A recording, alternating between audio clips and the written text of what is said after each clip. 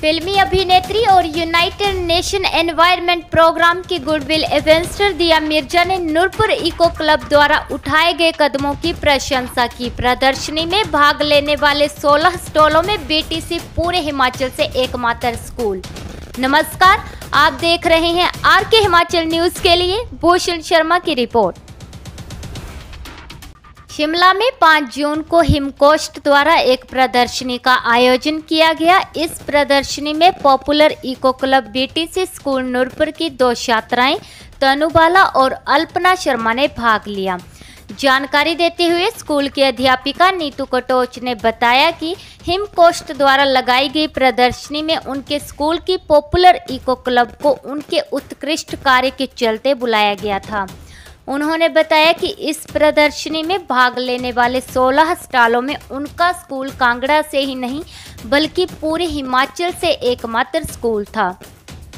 बाकी सभी स्टॉल विभिन्न एनजीओ के थे।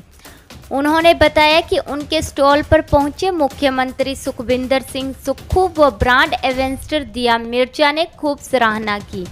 उन्होंने कहा कि यह सब बच्चों की कड़ी मेहनत और स्कूल स्टाफ के सहयोग का नतीजा है। उन्होंने बताया कि मनी भाई बैंक स्कीम के तहत 45 किलो सिंगल यूज़ प्लास्टिक इकट्ठा कर एमसी में जमा करवाया। उन्होंने कहा कि इसी अच्छे कार्य के चलते उन्हें इस प्रदर्शनी में भाग लेने का मौका मिला तथा उनकी हैंडमेड ज्वेलरी की भी खूब सराहना की गई।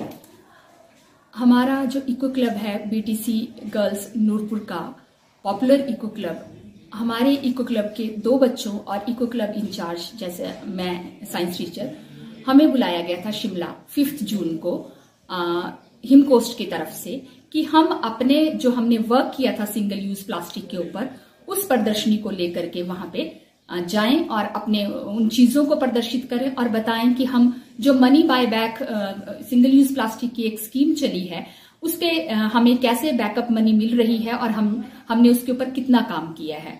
तो हमारे स्कूल ने उसके ऊपर बहुत बढ़िया प्रदर्शन किया था क्योंकि एक महीने के अंदर हम लोगों ने जो है लगभग 45 केजी जो है वो सिंगल यूज़ प्लास्टिक जैसा कि आप जानते हैं कि इसका भार बहुत कम होता है आ, बहुत मुश्किल होता है इतना कूड़ा इकट्ठा करना। बच्चों ने हर बच्चा जो था इस मुहिम में हर बच्चे ने हर टीचर ने हमारा साथ दिया है हमारे इको क्लब का बीटीसी के।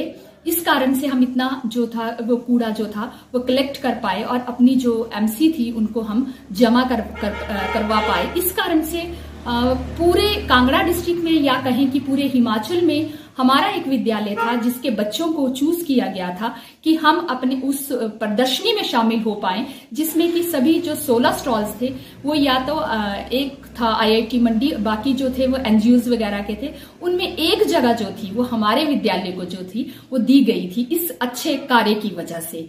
तो हमारा हम लोग बहुत खुश हैं इस बात को लेकर के कि आने वाले समय में हम इससे भी बेहतर काम करेंगे और इससे भी आगे जाने की कोशिश करेंगे।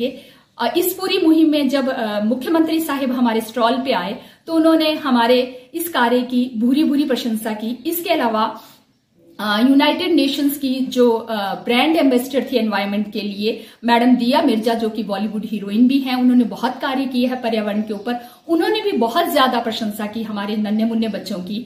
हमारी दो बच्चियाँ जो थी, वो इको क्लब इंचार्ज के साथ गई थी। एट्थ क्लास की और नाइन्थ क्लास की। एट्थ से थी तनुवाला और जो नाइन्थ से थी वो थी अल्पना शर्मा।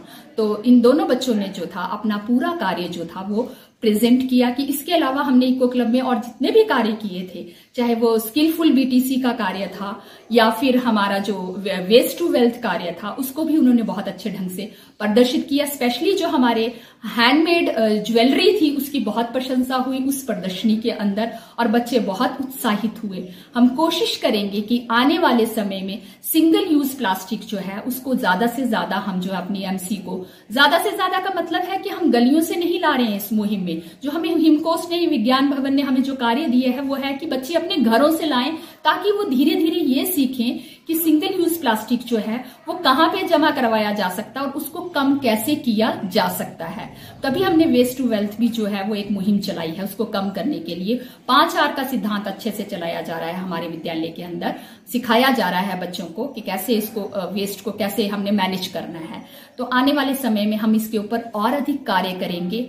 पौधारोपण के लिए, जैसे कि हमारे विद्यालय में जगह नहीं है, फिर भी हमने छोटे छोटे ग्रीन कॉर्नर्स बनाने की कोशिश की है। किचन गार्डन हमने शुरू किया है, और आने वाले समय में हम जगह जगह पे जो है पौधारोपण कराएँगे, जो कि हमने शुरू भी कर दी है मुहिम। तो